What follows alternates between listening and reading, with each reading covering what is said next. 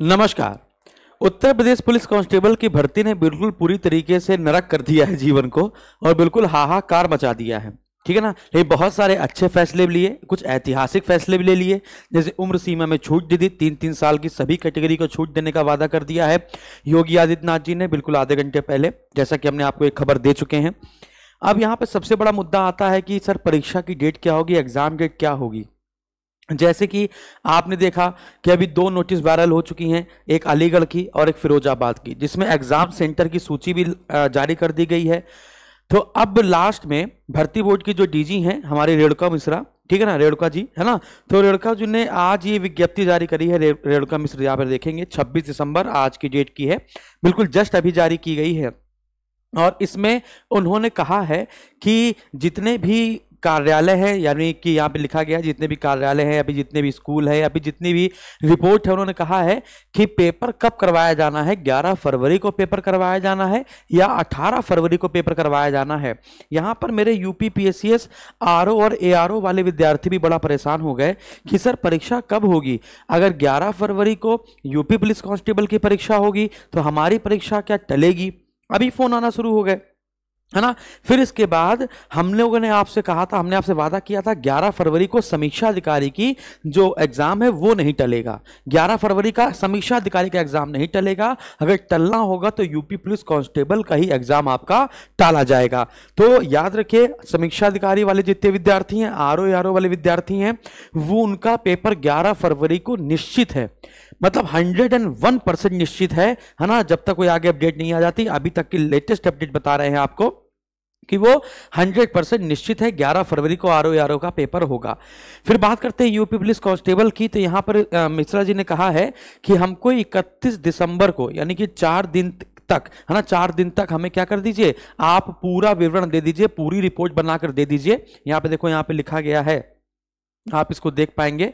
इसको मैं यहाँ पे लिखा है, अट्ठाईस दिसंबर तक उपलब्ध कराए जाने की अपेक्षा है है ना? तो अट्ठाईस तारीख तक हमें सारे विवरण निर्धारित किए गए प्रारूप, ये सब हमको दे दीजिए कि 11 फरवरी को करवाना है, क्या 18 फरवरी करवाना है, कि 11 और 18 दोनों को करवाना है, क्या दोनों दिन परीक्षाएँ होंगी, है ना? तो ये विवरण दिया गया है।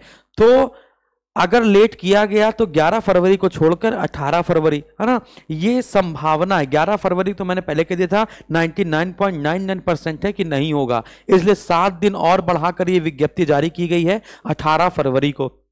ठीक है ना? तो 18 फरवरी को ये हो सकता है, लेकिन आप देखिए उत्तर प्रदेश सरकार, हम लोग कह रहे थे ना कि बिहार सरकार बहुत फॉरवर्ड है, बिहार सरकार ने देखो फटाफट फटाफट फटाफट सब कुछ करना शुरू कर दिया, उत्तर प्रदेश सरकार निकम्मी है। अब देखो, उन्होंने बुलेट ट्रेन की रफ्तार से, उत्तर प्रदेश सरकार ने बुलेट ट्रेन की रफ्तार से, उससे भी तेज रफ्तार जो होती है, अपनी स्पीड पकड़ी है है ना? और अठारह फरवरी को। लेकिन यार, एक बात बताइए, आप वैकेंसी जारी करेंगे, जारी करने के बाद तुरंत ही अपलीकेशन भरवा लेंगे, पंद्रह दिन में अप्लीकेशन भरवाने के बाद बेचारों जिन्होंने डॉक्यूमेंट नहीं बनवाया होगा, है ना? वो डॉक्यूमेंट ऐसा नहीं कि लोगों ने डॉक्यूमेंट नहीं बनवाया है।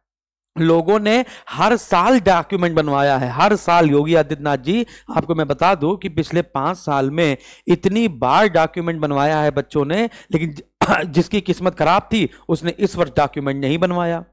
इस बार डॉक्यूमेंट नहीं बनवाया तो डॉक्यूमेंट वाले बेचारे परेशान हैं, है ना? तो हम चाहते हैं कि डॉक्यूमेंट वाले पे भी थोड़ा सा एक्शन लिया जाए, है ना? और थोड़ी सी उसमें भी रियायत दी जाए, ठीक है ना? अब बहुत सारे विद्यार्थी एक साथ अप्लाई कर रहे हैं, एक साथ अप्लाई करेंगे तो उस विभाग पर ही बर्डन पड़ेगा, है ना? तो चलिए, कोई बात नहीं। तो इस पर भी एक ना एक एक्शन लिया जाना चाहिए। है ना? ग्यारह फरवरी और अठारह फरवरी। तो ग्यारह फरवरी से हम लोग अठारह फरवरी में आ गए हैं। तो अठारह फरवरी को आप मानकर चलिए। है ना? आप लोग एग्ज़ाम डेट जो है, वो अपने अठारह फरवरी को मानकर चलिए। ग्यारह फरवरी को नहीं। और तैयारी आपकी एस एस गुरुकुल में अच्छे से कराई जा रही है। एक और बात, वर्दी 2.0 में अभी छः घंटे की क्लास चल रही है और ये रवैया देखते हुए अब हम लोग इसको आठ घंटे करने जा रहे हैं।